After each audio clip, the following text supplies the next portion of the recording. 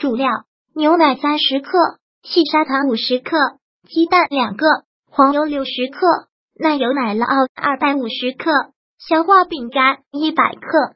辅料：动物性的奶油一百二十克，黑巧克力七十克。准备时间：十分钟内。制作时间：两小时以上。准备好所有材料。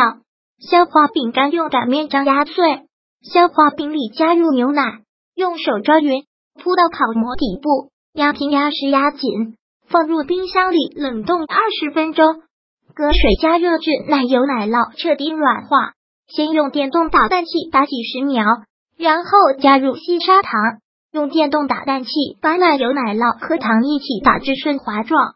将一个鸡蛋打入奶酪糊里。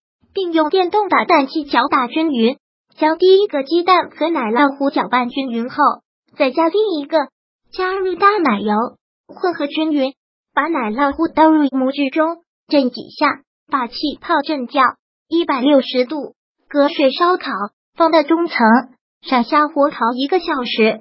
烤好的乳酪蛋糕取出以后，先不脱模，连同蛋糕模一起冷却到室温。把黑巧克力和黄油切小块，放入大碗里，倒入六十克动物性淡奶油，隔热水融化。趁巧克力混合液温热的时候，直接倒在乳酪蛋糕上静置一会儿。待巧克力混合液变得平整后，将蛋糕模放入冰箱冷藏四个小时以上。终于可以品尝到像美食图片一样的浓郁芝士蛋糕了。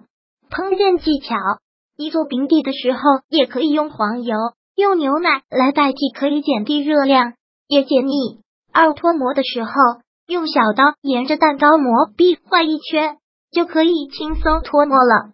如果喜欢本视频，请分享并订阅本频道，访问 T T News 点 X Y Z 获取更多相关资讯。